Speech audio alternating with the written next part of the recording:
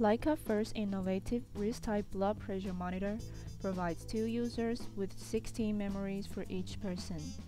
The LCD display is relatively big among the entry-level BPM series.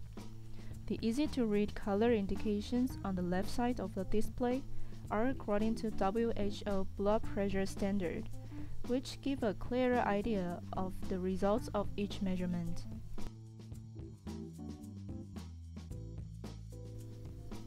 With the unit off, press the on-off button for 3 seconds.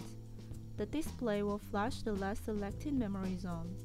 To select the memory zone, press the N button and confirm with the on-off button.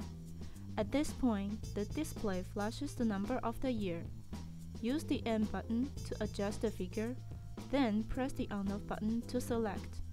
Repeat the same steps to set up month, date, and time. Then, the display shows US or EU, which indicates the time format.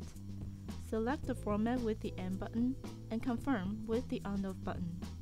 Then press the on-off button for 3 seconds to finish the setting and turn off the unit.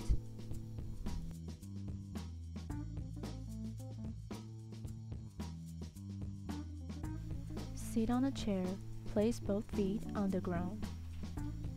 Remove clothing and accessories from the wrist. Relax and keep still for 5 to 10 minutes. Rest the arm on the table and keep it at heart level. With the palm facing up, apply the cuff around the wrist. The cuff must be placed 1 to 2 centimeters above the wrist joint. Fasten the cuff with the velcro and make sure it's not too tight.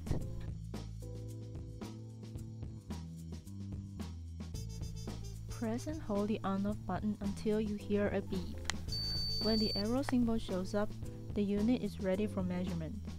Now the cuff will automatically start inflating. When you hear three short beeps, the measurement is finished, and the display will show the result.